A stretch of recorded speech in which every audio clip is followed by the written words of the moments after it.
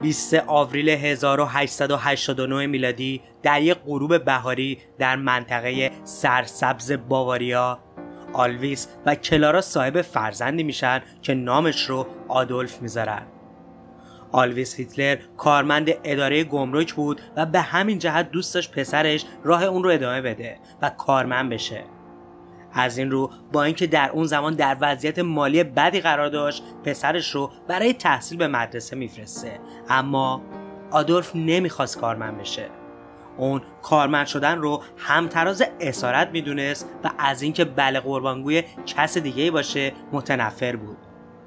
به همین جهت با اینکه پدرش سخت مخالف بود به هنر نقاشی روی میاره دیری نمیپایه که نخست پدر و سپس مادرش رو از دست میده. و اون مجبور میشه برای ادامه زندگی به تنهایی به وین پایتخت بزرگ و ثروتمند اون زمان اروپا گام بذاره. آدولف در وین زندگی بسیار سختی رو پشت سر میذاشت ولی درست در سال 1914 میلادی یعنی سالی که جنگ جهانی اول رخ داد به آلمان مهاجرت کرد و چون تعصبات ملی قوی داشت به جبهه اعزام شد. و اونطور که دوستانش بیان می‌کنند رشادت های زیادی هم از خودش نشون میده تا اونجا که به مدال صلیب شجاعت که تا آخر عمر خودش با افتخار به گردنش آویخته بود نائل میشه. به سبب جراحت های جنگ در بیمارستان بستری بود که خبر شکست آلمان رو به گوشش میرسونن این تلخترین خبری بود که تا اون زمان شنیده بود و اون رو بسیار منقلب کرده بود. سیاستمداران رو مسببین اصلی این شکست می‌دونست و به همین جهت بود که نسبت به حکومتی که اونها به نام جمهوری وایمار تشکیل داده بودند هیچگاه خوشبین نبود. بعد از جنگ اون در قسمت تبلیغات ارتش به کار مشغول میشه تا زمانی که وارد حزب کارگران آلمان میشه. این همون حزبیه که بعدها به نام حزب ناسیونال سوسیالیسم آلمان بزرگترین حزب آلمان میشه. حزب کارگران حزب کوچیک و متشکل از نهایتا ده عضو و تعدادی هوادار بود.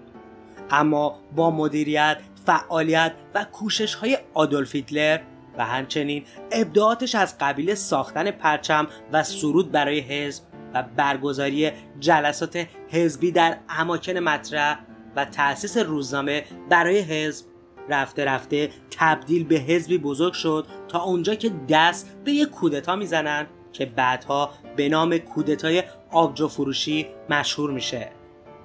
کودتایی که در اون هیتلر و دیگر افراد حزب بر علیه دولت جمهوریخواه به راه میندازن. اما به سبب خامی اون و همکارانش در این راه با شکست مواجه میشن و نه تنها همگی به زندان میافتند بلکه حزب تعطیل میشه و غیرقانونی اعلام و از هر گونه فعالیتی هم من میشن. هر کس دیگه بود دست از کار می‌کشید و یا حداقل در زمانی که در زندان بود حرکتی نمی‌کرد. اما این شخصیت خارق‌العاده دست به یکی از بزرگترین اعمال خودش می‌زنه. نوشتن کتاب نبرد من. کتاب نبرد من بعدها به عنوان کتاب مقدس نازیا در میاد که در اون ریشای فکری رایش سوم بیان شده. رایشی که بزرگترین امپراتوری آلمان لقب گرفت. بعد از آزادی اون با دولت توافق می‌کنه که بر علیه اونها حرکتی انجام نده. و این چنین بود که بار دیگه حزب رو به سمت جلو حرکت میده. حزب نازی به علت نبوغ سیاسی هیتلر به سرعت به عنوان حزب اول آلمان شناخته میشه و در پارلمان اکثریت کرسی ها رو به دست می‌گیره. به طوری که هرمان گورینگ یکی از نزدیکترین یاران هیتلر به عنوان رئیس پارلمان انتخاب میشه. سرانجام در سی ژانویه سال 1933 میلادی ژنرال هیندنبورگ رئیس جمهور سالخورده آلمان آدولف هیتلر رو به عنوان صدر اعظم آلمان انتخاب می‌کنه و این لحظه تاریخی بود که آغاز رایش سوم رو به وجود آورد. هیتلر بعد از به قدرت رسیدن به سرعت وضع اقتصادی آلمان رو بهبود میده و با اینکه در پیمان ورسای آلمان حق داشتن نیروی نظامی رو نداشت با نیرنگ یه نیروی نظامی برای آلمان به وجود میاره که تا اون زمان بی سابقه بود. بعد از اون اتریش رو الحاق خاک آلمان می‌کنه. اتریش بعد از جنگ جهانی اول بسیار ضعیف شده بود و هیچ نشانی از شکوه و عظمت گذشته رو نداشت.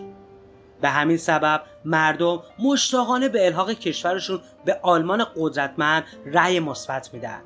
این واقع به آنشلوس معروفه.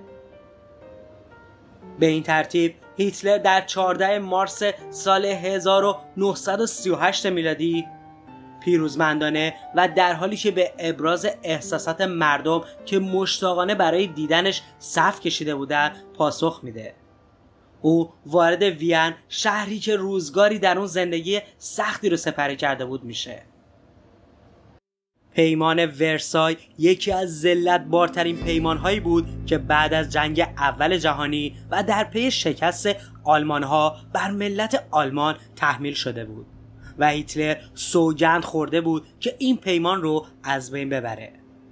از جمله مفاد این پیمان دادن سرزمین هایی از آلمان به لهستان بود و چون آلمانی ها لهستانی ها رو ملتی پستر از خودشون می‌دونستن این امر بسیار براشون گرون بود.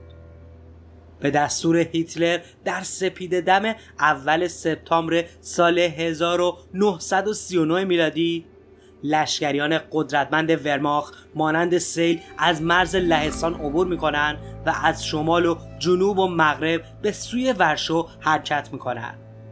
انگلستان و فرانسه که در اون زمان جزو همپیمانان لهستان بودند بعد از این واقعه به آلمان اعلان جنگ می‌کنند و این آغاز جنگ دوم جهانی بزرگترین جنگ تاریخ بشری بود. نبوغ نظامی هیتلر به صورتی بود که همه جهان رو به شگفتی واداشته بود. با تدابیر نظامی این مرد لهستان، دانمارک، نروژ، هلند، بلژیک و بعد از اون فرانسه به سرعت به اشغال نیروهای آلمانی در میاد. هیتلر انگلستان رو جزء لاینفک تمدن اروپا می‌دونست و در هر لحظه از جنگ برای صلح با انگلستان اقدام می‌کرد. اما انگلیسی که مردمی متکبر بودند حاضر به صلحی کمتر از تسلیم نمی‌شدند و تا آخرین نفس دلاورانه با آلمان ها جنگیدند. هیتلر که نمی‌خواست انگلستان رو از بین ببره و نمی‌خواست قدرت ارتش خودش رو کاهش بده از ادامه جنگ در غرب منصرف میشه و روش رو به طرف شرق یعنی شوروی برمیگردونه. در ساعت 3 و 30 دقیقه بامداد 22 ژوئن سال 1941 میلادی ارتش آلمان طی عملیاتی موسوم به بارباروسا به شوروی حمله می‌کنه. در ابتدا سرعت ارتش بسیار بالا بود و در همون زمان آغاز عملیات قسمت های بسیاری از خاک شوروی رو به تصرف خودشون در آوردن هیتلر و سایر فرماندهانش اینطور فکر می‌کردن که کار شوروی تا قبل از پاییز به اتمام می‌رسه و همین بزرگترین اشتباه اون بود. در زمستان سرد آن سال شوروی ارتش آلمان به علت نداشتن تجهیزات کافی برای نبرد زمستانی با اینکه تا دروازه های مسکو رسیده بودند. به علت مقاومت سرسختانه مردم و ارتش شوروی مجبور به عقب نشینی شدند و این آغاز پایان بود. بعد از ورود آمریکا به جنگ جهانی دوم که توسط ژاپن صورت می‌گیره روح تازه‌ای در قوای متفقین دمیده میشه. و جنگ وارد مرحله جدیدی میشه. سرانجام با توافقی که سران سه کشور انگلستان، شوروی و آمریکا یعنی چرچیل، استالین و روزولت انجام می‌گیره متفقین از شرق و غرب به سمت آلمان یورش می‌برند و تونستن ارتش آلمان رو به زانو در بیارن.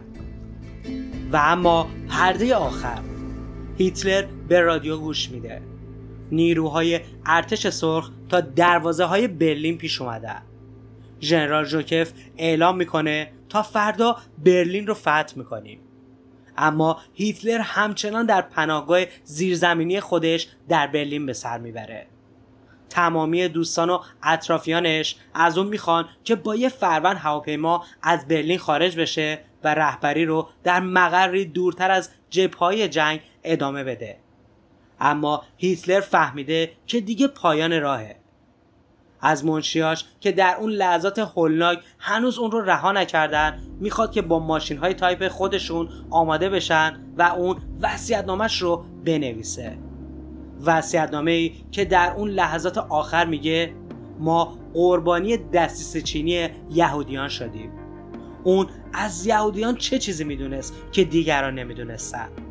همه جهان اون رو مسئول این جنگ خانمانسوز می‌دونن اما اون طوری سخن میگه که انگار از مسائلی با خبره که دیگران نمی‌دونن.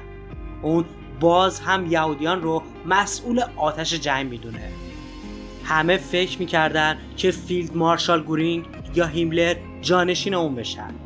اما این دو به گفته خود هیتلر بهش خیانت کرده بودن. گورینگ و هیملر که بازی رو تموم شده می‌دونستن به خیال خودشون در پی کنار اومدن با متفقین شده بودن. زهی خیال باطل. صلح اون هم در شرایطی که متفقین وارد آلمان شده بودن. چندی قبل گورینگ از طرف پیشوا از شده بود و هیملر هم شرایط بهتری نداشت. هیتلر در وصیت‌نامه خودش دریا سالار دونیتسو که مردی خوشنام در ارتش آلمان بود جانشین خودش می‌کنه. و از اون می‌خواد تا برای سرافرازی آلمان هر کاری که می‌تونه انجام بده. و دیگران رو هم به فرمان برداری از اون امر می‌کنه. بعد از مرور وصیت‌نامش و طبق عادت همیشگیش اصلاح بعضی عبارت رو انجام میده و بعد از اون به همگی فرمان میده تا برلین رو ترک کنن. هواپیمایی که در بین اون همه آتیش برای بردن پیشوای آلمان اومده بود نباید دست خالی برمیگشت. برای هیتلر اهمیت داشت که وصیت‌نامه‌اش به دست دیگران نرسه. اون حتی از گوبلز و خانوادهش و حتی ایوا براون هم می‌خواد که ترکش کنن. اما اونها میمونن تا نامشون در کنار هیتلر باقی بمونه. بعد از دور شدن هواپیما همگی به پناهگاه برمیگردن و هیتلر به همراه تازه عروسش ایوا براون از تک تک دوستانشون که در این لحظات سخت در کنارشون بودن تشکر می‌کنن و وارد اتاق شخصیشون میشن.